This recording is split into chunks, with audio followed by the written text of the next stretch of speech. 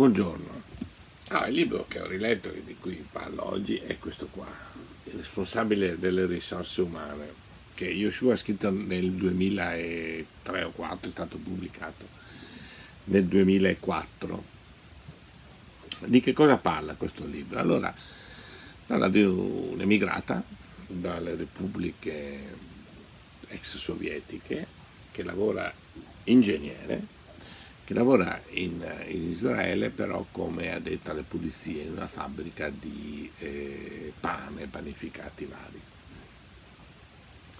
e che muore in un incidente, eh, in un attentato suicida, non in un incidente. Non si sa nulla di questa donna per una settimana finché un articolo di giornale eh, evidenzia che questa era una dipendente di questo panificio il responsabile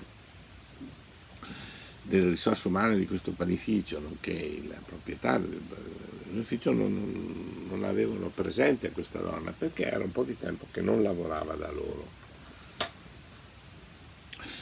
E allora che cosa succede? Succede che eh, a causa anche un po' di una, una spinta di un giornale che mette in luce gli aspetti negativi, anzi scandalizzato perché questo eh, questa ditta non, non, fa nulla per questa dipendente, eccetera, anzi è stata una settimana in, in obitorio senza che nessuno la riconoscesse, beh insomma decide il direttore di fare qualche cosa.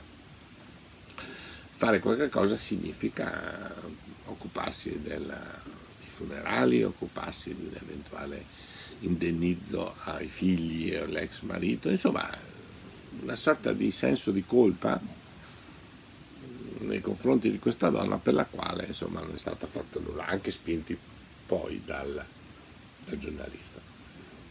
Chi si occupa di tutto questo è appunto il responsabile delle risorse umane della, della ditta. Ora, il quale comincia a informarsi del nome di questa qua, dove viveva, che, che istituzione aveva, i funerali, tutto quanto, con tutta una serie di colpi di scena, di, di, che ovviamente non sto qua a raccontarvi, ma che rendono il libro interessante, insomma, piacevole da seguire.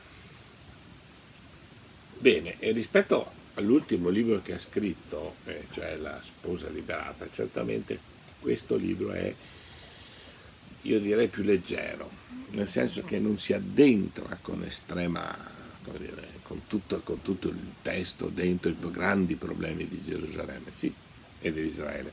Sì, certamente questa donna è emigrata dai paesi ex sovietici, certamente insomma, sono, vengono messi in luce gli aspetti anche per esempio degli attentati suicidi e così, però con un linguaggio e con un tono che mi, a mio parere sono molto più leggeri, molto più così, un, un bel racconto, ecco, più che un'analisi e una disamina dei problemi eh, pratici e anche così, culturali di Israele di quegli anni, siamo nel 2004, quando c'è stata questa intifada caratterizzata appunto da tutti questi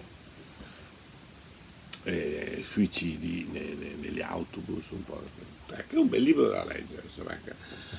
Eh, ecco qua il responsabile delle risorse umane, il quale subisce fra l'altro in tutta questa avventura un cambiamento. Prima era una persona abbastanza fredda, possiamo dire, abbastanza così poco partecipe dal punto di vista umano appunto e qui assistiamo anche a una sua trasformazione che lo rende un pochettino più attento, più umano a quello che succede intorno a sé. Ecco, volutamente io non vi ho raccontato la gran parte del testo, perché veramente sarebbe inutile poi leggerlo, ma eh, ve lo consiglio, è un bel libro che si legge abbastanza bene.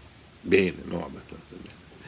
Buona lettura a voi, responsabile delle risorse umane di Abraham Yoshua.